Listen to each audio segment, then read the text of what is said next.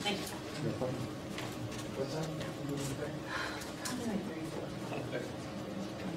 Okay. So. So let's pick back up with chapter nine. We don't have much left in chapter nine. So we left off by talking about the home office deduction.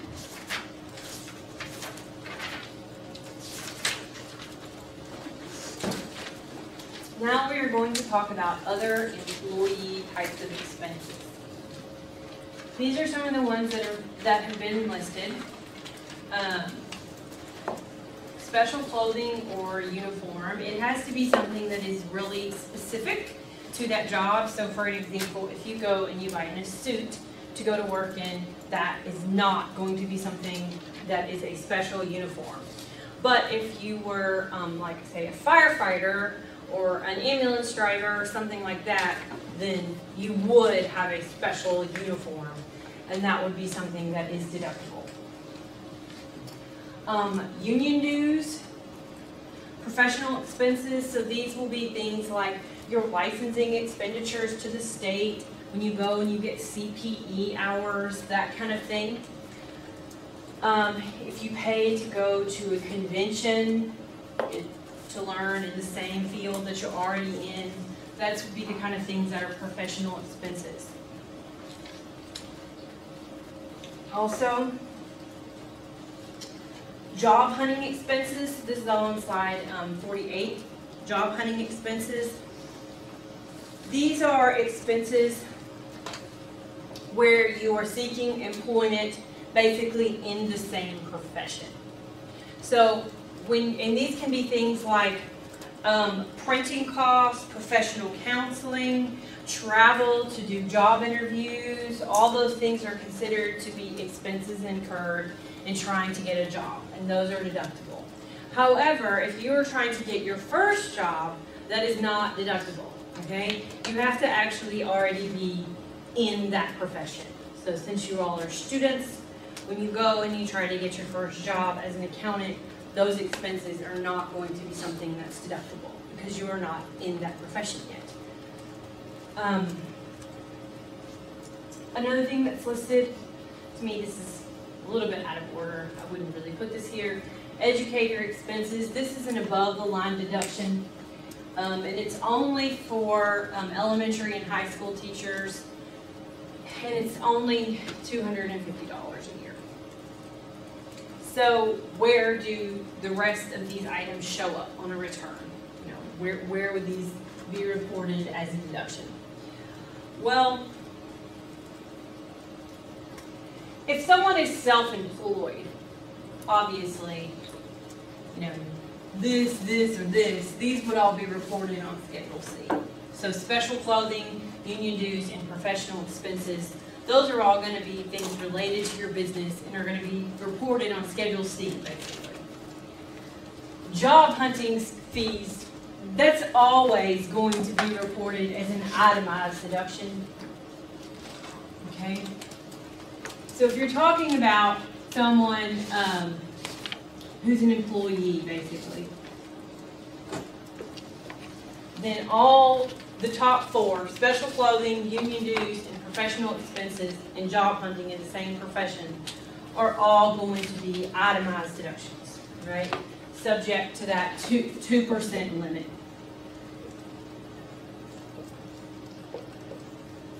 And one of your taxpayers on your ten forty assignment has some of these expenses.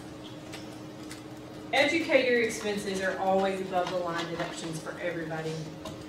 But it's a very small deduction because you only get two hundred and fifty dollars a year.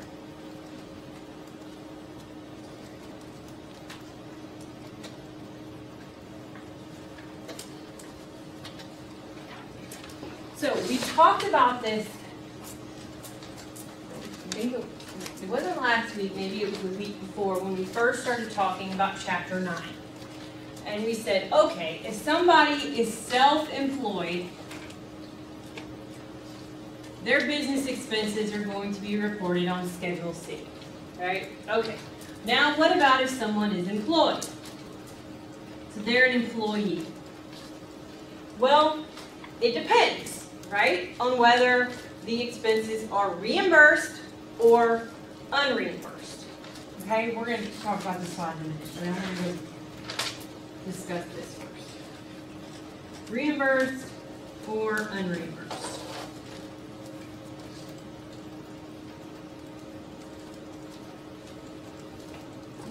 So if you have expenses that are unreimbursed, then all these expenses are going to be itemized.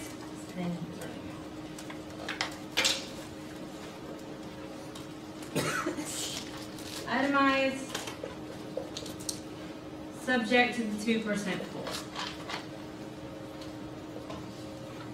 Right, and these would be things like your, your uniform for your job, your professional expenses, your union dues, things that we just saw on the previous slide. Now, what about if they are reimbursed? Now, it depends on if they're reimbursed subject to an accountable plan. Okay? Then there's basically nothing to report. No income and no deduction. So this is when the employer pays you back. So if it's done according to an accountable plan, no income to the employee, but no deduction either. If it's done according to a non-accountable plan, this is the bad result. This is when they have to include the reimbursement in income,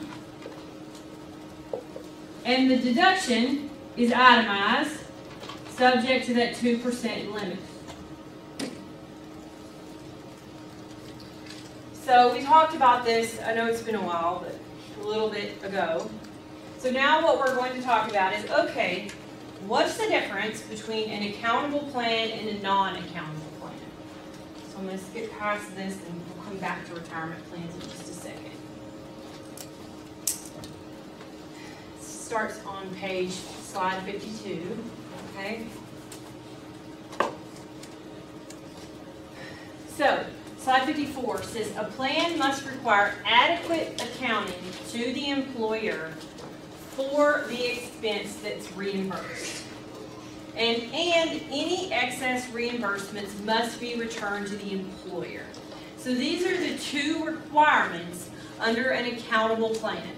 There must be adequate accounting and there must be a return of excess reimbursements. So what does adequate accounting mean? Slide 55. You have to submit a record with your receipts to your employer. That's option, option one. Option two is to use a per diem rate.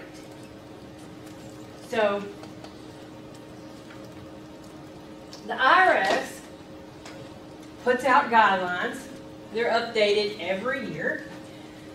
And they say, okay, if you're doing work in this location, we will allow you a per diem rate of $500 a day.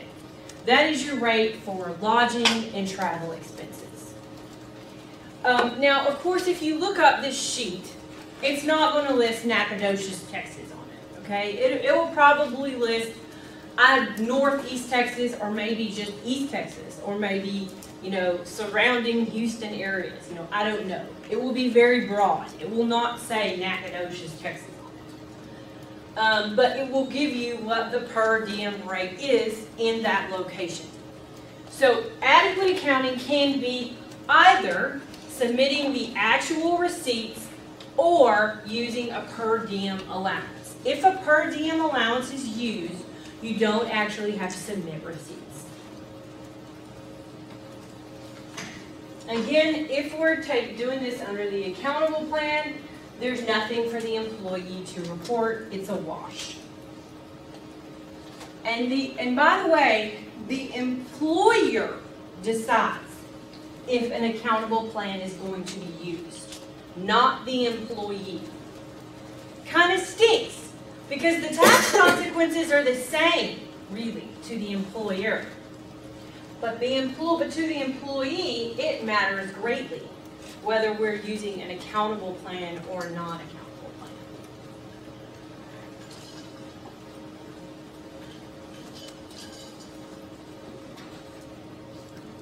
These are some things that should be on records.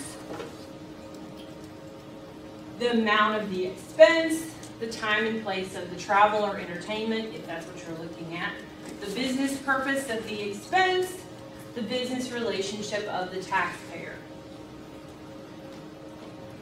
So again, let's say you're looking at, you took a client out to dinner. And your employer does not have an accountable plan, and you get reimbursed for it. So what does that mean? You have to include the reimbursement in income, right? And you're going to have to take an itemized deduction on Schedule A. So let's take a look here. this is on slide 57 that says what should be on the records.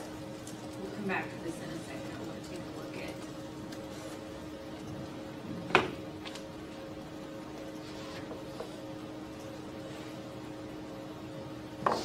at Okay. If we're looking at form 2106,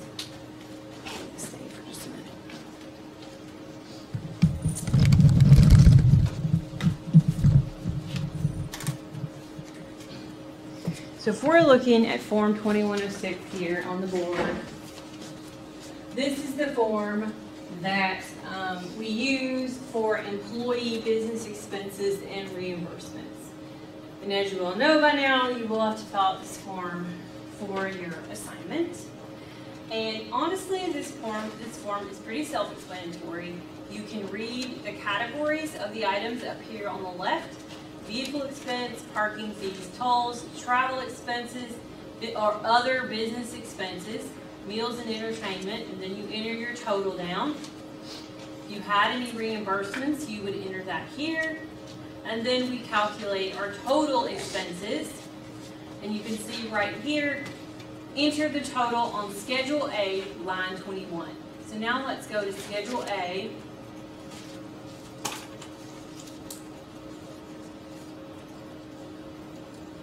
line twenty-one, unreimbursed employee expenses, right here. And if you'll notice, everything in this category, unreimbursed employee expenses, tax fees, other expenses, all that, this is subject to the two percent floor. You can see here with line twenty-six, subject to the two percent floor.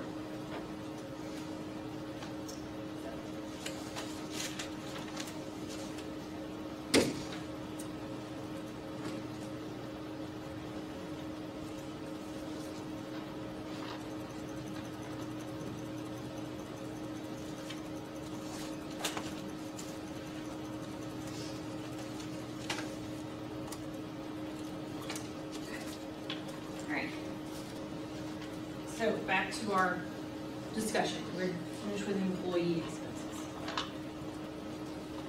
So let's talk about retirement plans. So if you look at a ten forty, line thirty-two on page one says IRA deduction. So if you make a contribution to an IRA during the year, you receive an above the line deduction. Okay? So, but there is a maximum amount. It's fifty-five hundred dollars. Or sixty-five if you're over fifty.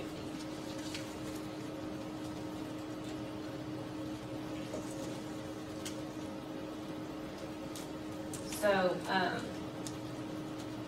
that is for a traditional IRA. So if you're talking about a traditional IRA, you can take an above the line deduction for your contribution to your IRA. Um, what about if you have something called a Roth IRA? R-O-T-H, a Roth IRA. So with a Roth IRA, it works a little bit differently. If you have a Roth IRA, there is no deduction for, on, for taxes when you contribute to the IRA. But later, when you retire and you take the money out, it is tax-free. With a traditional IRA, it works the opposite. You get a deduction when you put the money in. But when you take it out after you retire, you pay taxes. Either way, you're going to pay taxes. With a Roth IRA, you pay the taxes now. With a traditional IRA, you pay the taxes later. So a lot of young people, just starting out, will choose to do a Roth IRA because you'll be in a lower tax bracket. I would rather pay the taxes now when I'm in a low tax bracket as opposed to later. Well, we don't really know what's going to happen with taxes, right? Nobody can see the future. And you definitely can't see the future, you know, 50 years from now. But you know, okay, I'm in a 10, 15% bracket this year, so I'm going to put money into my IRA this year in hopes that when I retire, I'll be in a higher bracket and I'm saving tax money. Another option for retirement is called a Keogh plan. This is on slide 51, K-E-O G-H. It could be pronounced differently. There any finance people in here that know how it's actually pronounced, that's good. But a Keogh plan is used for people that are self-employed. So if you're self-employed, you can set up a retirement plan under a Keogh plan. These are really similar to traditional IRAs as far as the deduction on your return and you pay taxes when it goes out. There are a little bit of different limits for it. I don't actually think it says what the limits are in the book. Um, yeah, it doesn't. And then there's some other options that are listed here on this slide, a 401k, a SEP plan, or a simple plan.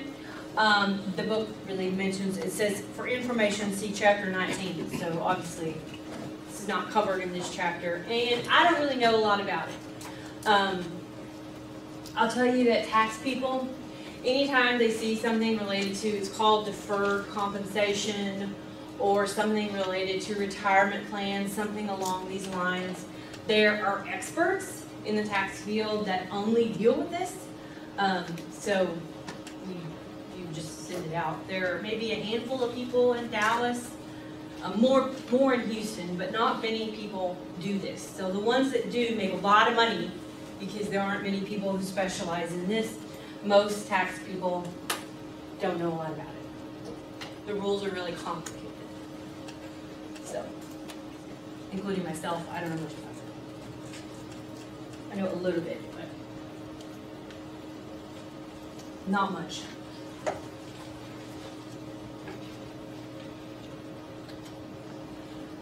Okay, we already talked about these slides.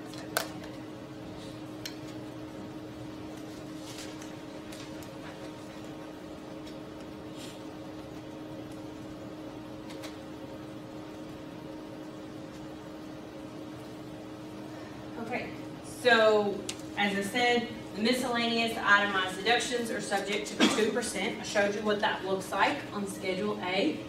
There are some miscellaneous itemized deductions that are not going to be subject to the two percent. Um, these are the ones that are subject to the two percent. And I just showed you what it looks like on Schedule A. The big one that we just talked about, unreimbursed employee expenses, Section two twelve expenses, Remember, these are your expenses related to, you know, uh, for profit, like investment, that kind of thing. If it's for rents and royalties, remember, it will not be an itemized deduction. It's going to go on Schedule E. Tax return prep fees, hobby expenses, other types of investment expenses. Now, there are a few item, miscellaneous itemized deductions that are not subject to the 2% floor terminated annuity payments, gambling losses to the extent of winnings, and impairment-related expenses of handicapped individuals. This is on slide 62. So let's look at an example here. This is example 50.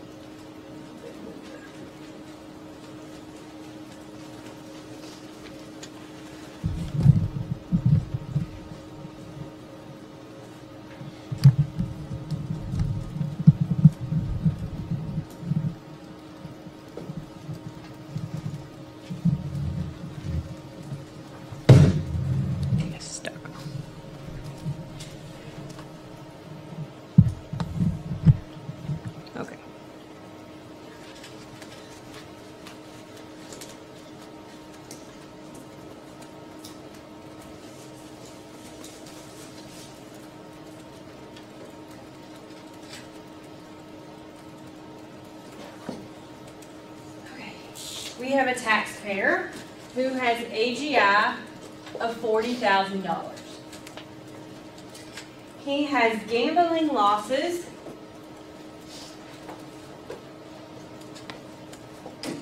Of 2200 He has tax return prep fees of 500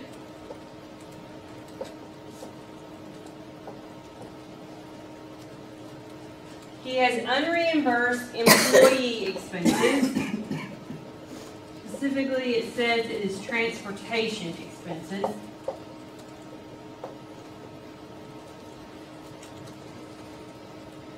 Of six hundred dollars. He has professional dues and subscriptions.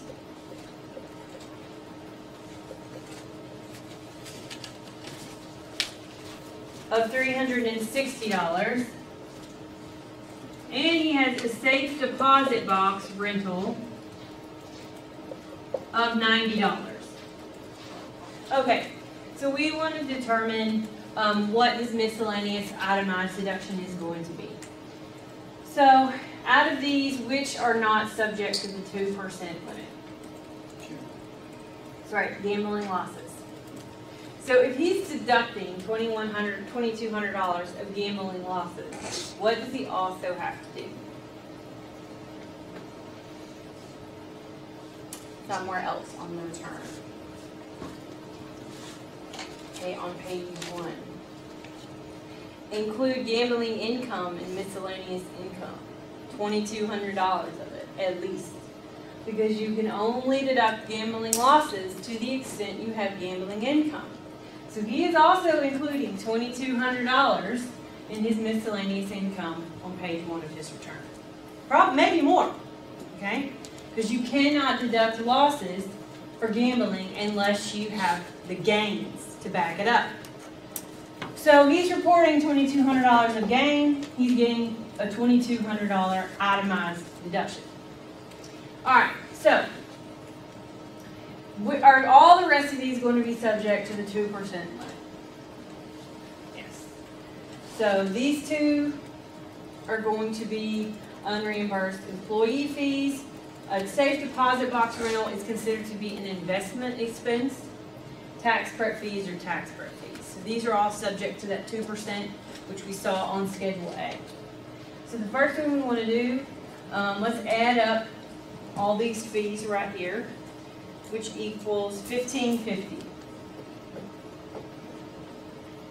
Now what do we need to do?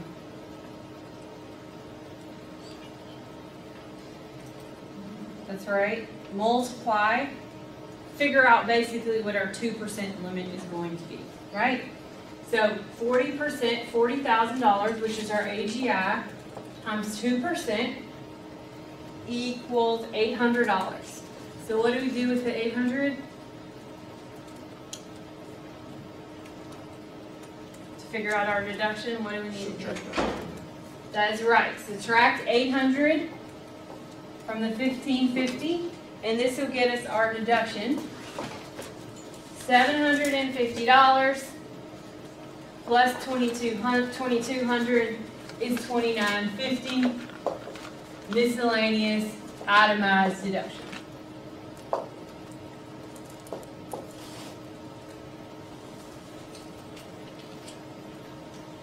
Seven fifty plus twenty-two. Everyone see how that works? Okay.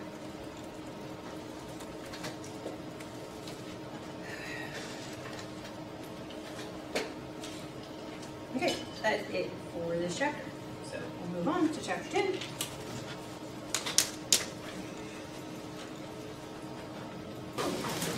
Just one second.